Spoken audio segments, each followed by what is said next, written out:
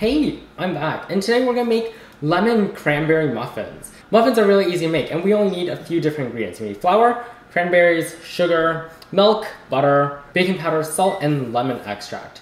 You also need some eggs. Whoops, forgot about that. You need some form of mixer to mix ingredients. You can do a hand mixer, you can whisk it by hand, but that's hard. First you put in your butter.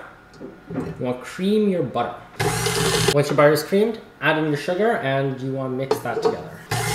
The next thing you do is you mix in your flour. Start with a low speed or else it goes Next you add in your eggs, which I totally forgot to mention, but eggs! And you add in your baking powder and salt you add in a little bit of vanilla if you want. I'm just gonna add a little bit. I didn't mention this, but just a little bit of vanilla. And then you add in some of your lemon, and then you let it mix for a little bit. Once it mixes for a little bit, add in your milk. Finally, you mix in your cranberries. There's a lot of cranberries. Your next step is to fill them.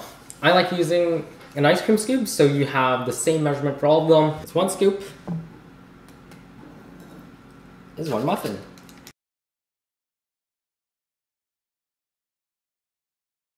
So here we have our lemon cranberry muffins. They're really, really good. They look really good. And this is muffin. I made some extra. And have, you see how they have like little cranberries on the inside. Anyway, thank you so much for watching this video. Be sure to give it a thumbs up and subscribe to this channel. We'll have more videos. If you do decide to make any of these, send me pictures. You'll find me on Twitter at iAwesomeKevin, Instagram at AwesomeKevin. Links down below. Anyway, bye!